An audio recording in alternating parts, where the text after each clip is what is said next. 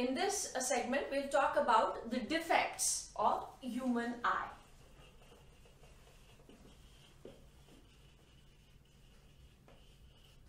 The first one that we are starting with is myopia.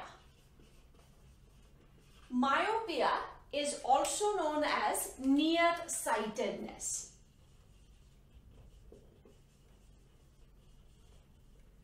This means the person is able to see the things which are closer but the far objects are not clearly visible. So person can see close objects and the far objects are blurred or not clear. So far objects are not clearly seen. Now let us understand why this defect is caused. There are two reasons for this defect. First reason, the lens which is in our eye that is a convex lens. Its power of convergence increases. We call it increase in convexity or converging power. So increase in converging power. That is of our normal lens which is there. It is a converging lens, it is a biconvex lens and when it focuses uh, the image on retina with a normal uh, power, here its converging power has increased. And the second reason is the size of the eyeball is more. So, larger eyeball. These are the two reasons which are responsible for myopia. Now let us first understand how is the image formed in a normal eye and then what would be the defect after these two conditions. In a normal eye, suppose we are drawing this simple structure of the eye and let us draw the lens here this is the cornea, which is the little bulge. And here, the lens is suspended with the help of the ciliary body and the suspensory ligaments. Now, when the light from the object, these rays, they come here. These rays are converged by this lens. So, this is the point that is on retina. The focus is uh, formed and the image is formed here. So this is normal. But if we take the first problem, then what is the situation? The normal eye, this is slight bulge of cornea. This is the eye that we are talking of. And here is the lens, which is again suspended with the help of these suspensory ligaments. Now, here the power of the lens has increased, power of converging. So when the rays fall on this, because of increased convergence power, it converges the uh, these rays in front of uh, retina. So image is formed in front of retina. Or in other words, if image is not formed on retina, the cells are not properly stimulated, the image will not be clear. So here the image is going to be blur. This is one problem. The second is when the eyeball size increases. Let us draw this again, the cornea, slight bulge and this is the eye. This is normal eye that we are drawing. Here is the lens. The rays which fall on this lens, they come here and lens power is normal, there is no problem at all. But we are saying that here the eyeball is larger. So instead of a normal size, the eyeball is here.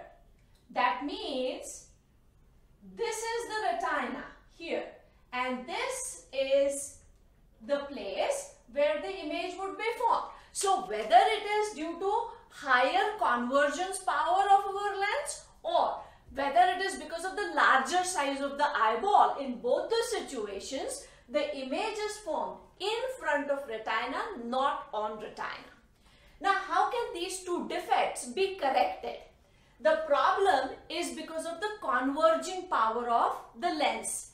The converging power has increased. So, we need to use a lens which would have a diverging power. That is the concave lens.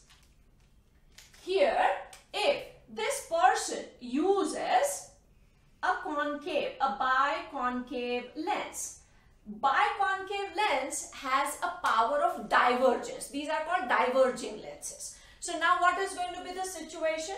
The rays which fall on this, they would diverge. The rays would diverge. Now, this lens is going to converge those diverged uh, rays. So when these are converged, they would be focused here.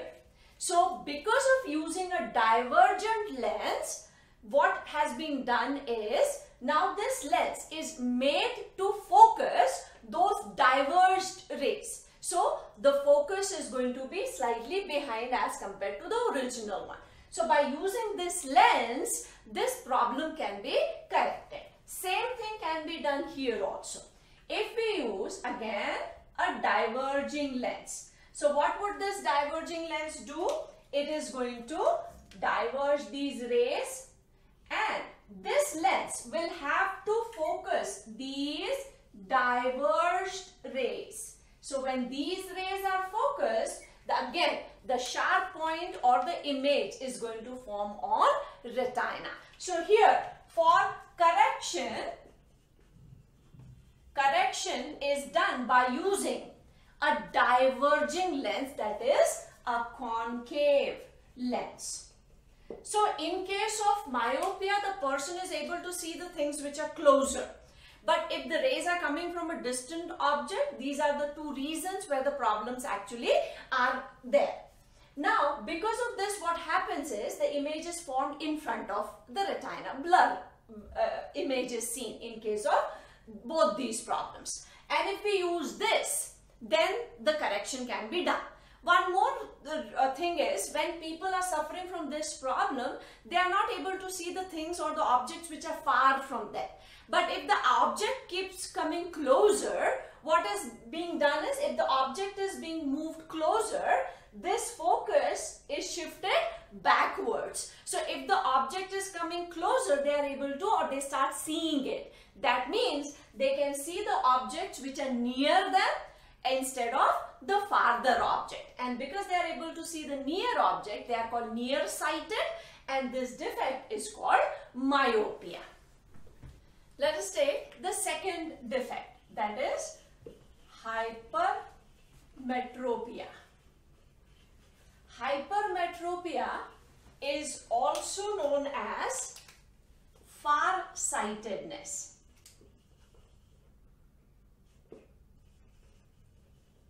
In this, the person is able to see distant objects, but the things which are closer are not that clearly visible. A similar problem is seen uh, as a result of aging. When a person gets older, we many a time see that when they are trying to read the messages from their cell phone or trying to read the newspapers, they keep the object far from their eyes. But that is not exactly hypermetropia. That similar problem, but that is due to aging. We will take up that little later. Here, the person is able to see distant objects and so we call them far-sighted but the closer things, closer objects are not clearly visible. Again, the blurred image is formed. For this kind of defect also there are two reasons. First reason, and it is exactly opposite of what happens in myopia. In this case, the lens of our eye, which is a converging lens, its power decreases. So here, the converging power decreases. So it is not able to uh, focus those rays on retina. And the second reason is smaller eyeball. So if eyeball is smaller, in this case also the image is formed in or behind retina. Now let us see the normal vision again. This is the cornea, the eyeball and here is the lens which is suspended. The normal uh, case lens is going to let these rays focus on the retina. So the image is going to be formed right on retina. If this is the problem, that means the power of the lens is affected, then that in that case what's going to happen is this is the eyeball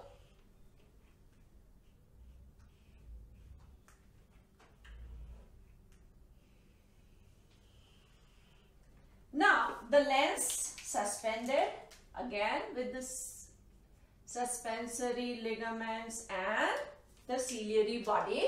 Now in this case because its power has reduced the power to converge those rays. So rays fall on it and it is not able to focus it. So it focuses it behind retina. So image is not formed, a sharp image is not formed on retina. Now the second problem is, let us draw this eye here also. This is the cornea and the eyeball. This is the normal eyeball that we are drawing and here the lens is suspended. If this was normal eyeball size, then what would have happened? the rays would have converged on retina. But here the defect is in the eyeball, the size of the eyeball. So eyeball instead of normal size is smaller. So actually this dotted line is the retina. That means in both the cases the image is formed behind retina. What do we need to use to correct it? Here, the power of converging has uh, decreased. So, we will have to use a lens which can increase this power of converging. So, the lens which is used, say for example here we are talking of this corrective thing. So, the lens is a convex lens. What is this convex lens, lens going to do? It is going to converge these rays which are falling on it. And these converged rays are to be further converged by this lens whose power of convergence has decreased. So by adding one more converging lens, we are helping this lens to converge at the right place that is on the retina. Same thing is done here.